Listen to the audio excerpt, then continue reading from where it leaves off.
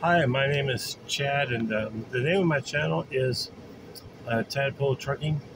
And the reason why I picked uh, Tadpole is because I'm new at this. Um, I don't even have my CDL. Uh, I have a Class B, but I don't have a Class A. Um, so I'm at school, and since I'm new, it's kind of like a tadpole in the business.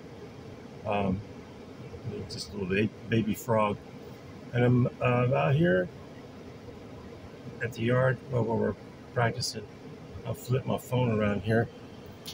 And hopefully you can see the trucks out here practicing their backups. We got uh, manual and uh, automatic. Uh, the name of the company is Skyline CDL. It's in Vancouver, Washington. Uh, the, cost is pretty low. It's really good if you speak uh, Russian or Ukrainian uh, because most of the people here speak those languages. There are some people that speak English. Uh, we do have instructors that speak um, English, some better than others, but enough to uh, get you through. And uh, yeah, this is where I'm starting from.